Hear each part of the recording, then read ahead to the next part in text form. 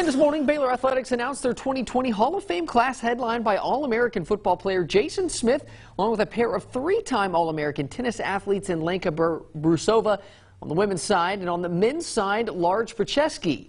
Softball standout Brette Reagan also joins the 2020 class, along with Todd Cooper. Former volleyball All-American Anna Breyfogle will join the class, along with football players Brad Goebel and Andrew Melontree. This year's Wall of Honor member is former Baylor football player Michael Attas, who retired as chief cardiologist at Hillcrest Baptist Medical Center. Now, due to the COVID-19 pandemic, arrangements for the Hall of Fame banquet are still pending.